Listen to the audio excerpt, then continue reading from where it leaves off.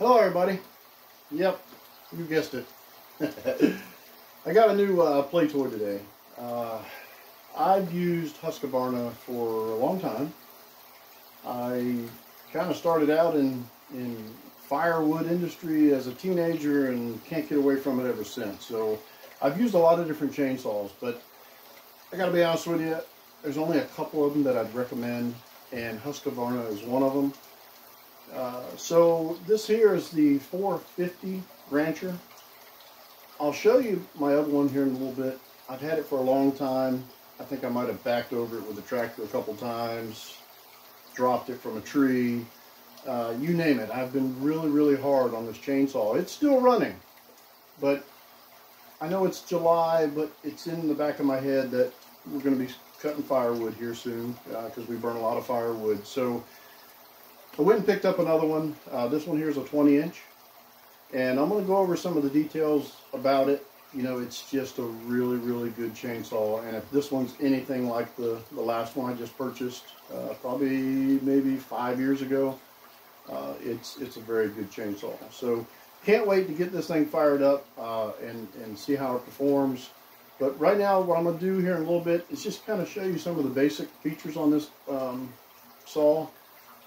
Like I said, I, I use saws all the time around here. I have a little small sawmill that I'm always needing to cut up, you know, different woods and, and that kind of thing uh, for, you know, some of the projects that I'm working on. But another story there, good saw. Let's go open this thing up and I'll show you a few things in it. All right, so I'm going to attempt to just show you some basic stuff on, on the saw, uh, as long as I don't get too long-winded here. You know, uh, first thing, uh, this is the 450 Rancher X-Torq. Uh, it's, uh, like I said, I've got one of its smaller versions. It still runs, it does really good, but I needed a new one, and I needed a longer one, so I went with the uh, 20 inch. Now, this is the smaller 20 inch. There, there's a bigger one. Uh, actually, there's a lot of bigger ones, but uh, the bigger one in this series was probably about five pounds heavier. I mean, it's just a beast. Uh, and I've run the 440 for you know a good while now, and it's done fine. Except I just needed a little bit longer bar, um, and it was I'm starting to wear it out. So that's why I decided to go with the 450 it, it's lighter uh, and it still has plenty of power. I mean, you'll see here in a little bit. I'm gonna get this thing fired up. So, you know, it most of these uh, Husqvarnas come with, you know, your basic uh, two, two-stroke oil, which I always try to stay with the two-stroke oil uh, because my thinking is they know what belongs in this saw. So always go with their two-stroke oil. I mean, there are other ones out there, but my thinking is they know what they're doing because they want it to last. So, uh, so then a manual, all your literatures and stuff, um, usually will come with it. I mean, this one here is pretty thick. It's a lot of stuff. Uh, probably your warranty uh, and all that good information. Most of, all of them come with one of these. I've, I've got a nice little collection of these because I've had a lot of different type saws through the year. So this is important because this is this is all you need. All right, uh, and then the plugs. And we're gonna go ahead and, well, I'm not gonna put them in now. I'm gonna try to keep this short. Uh, it's pretty simple. Uh, you just replace the stuff here uh, with these plugs. So, uh, you know, maintenance on this thing, you know, if you need to get into it, these little clips on the side come loose. And it's a little tricky sometimes. This is fairly new, so let me let me open this thing up see if we can get that to open. There you go. And it just, it pops right off. It's got a little, little rubbery thing down there that holds on to it. Um, so, and then one on this side. Just gently pop it open. There's that. And then there's one up here on the top. So we're going to pop that one open too. There you go. So now this thing just comes off. All right and that's how you get to your plug. So what's important about this, sometimes, depending on your gas mixture and how you get it, uh, it may foul out on you. So this little tool here helps you get that plug out. Pretty simple.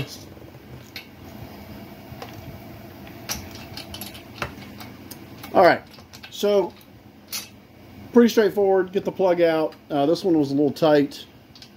Um, and then a lot of times you foul them out, you got to clean them up and just put them back.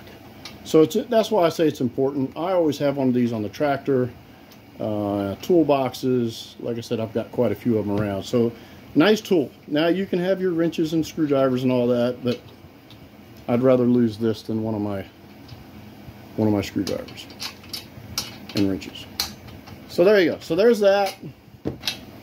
All right, so that that's pretty straightforward. Put the plug back on there. Little caddy for the uh, plug wire goes back into that. So for changing your air filter, same concept. This is where you get to to, to do all that.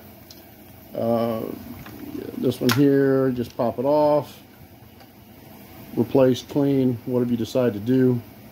Uh, nine times out of ten, I just take a tap and clean it until it absolutely just uh, decides to say, nope, I'm not going to run anymore. so you replace it. Straightforward, easy. All right. So the cover goes back on the same way. Now, some of the older models, they you had to unscrew them and all that good stuff, but somewhere along the line, I don't know when, they started coming up with these clips. So there you go, that's that. Very simple. So as far as the chain goes, uh, same thing. There's your magic wrench. So sometimes it gets loose. You need to um, tighten the chain. So you loosen the, the nut and then the tensioner is right here. One way or the other, tighten or loosen, depending which way you need to go. There you go. So pretty straightforward on that. Now I'm going to loosen this up just a tad because I'm going to go ahead and take this off.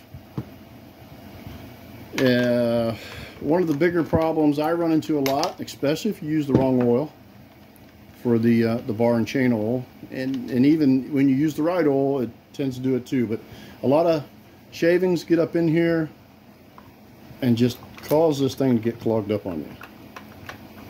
And this is brand new. I've never had this off, so this is really tight.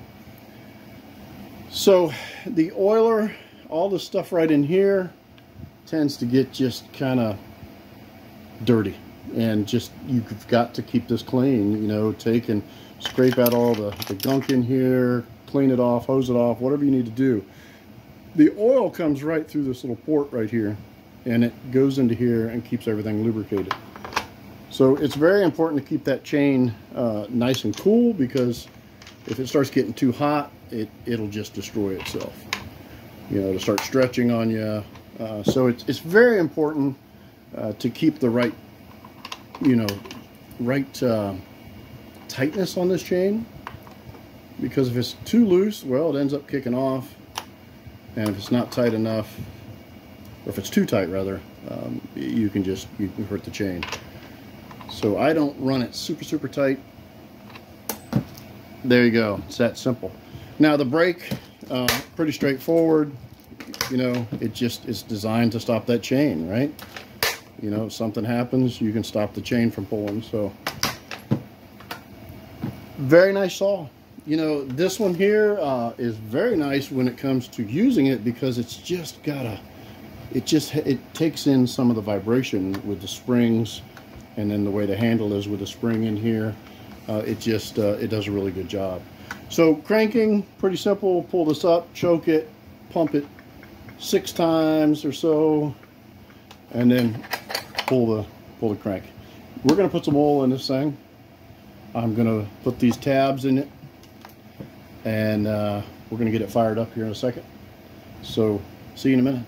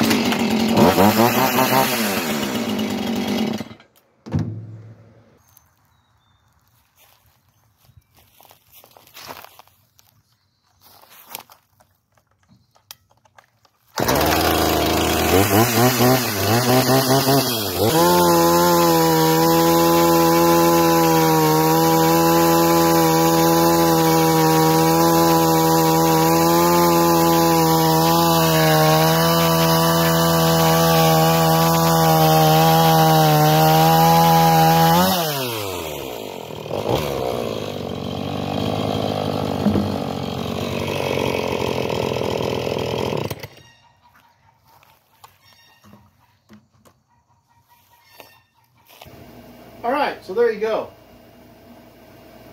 Right out of the box, so to speak. Uh, put some gas in it, some oil, got it running a little good, and then cut like butter. I mean, just like clockwork. You know, I can always trust uh, the Husqvarna saw. Now, as far as the, my old one, uh, I looked at the date. Uh, sure enough, uh, it was 2016 when I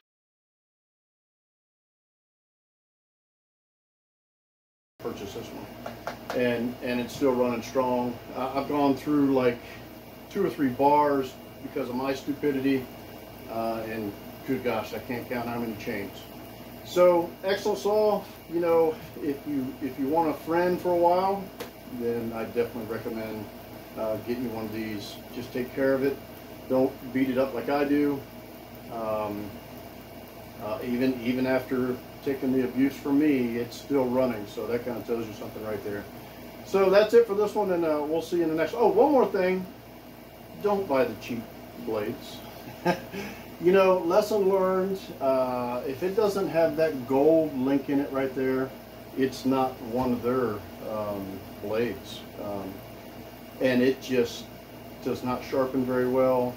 Uh, it just it just doesn't last as long. So do yourself a favor and get a good uh, chain. All right, that's it for now. We'll see you next time.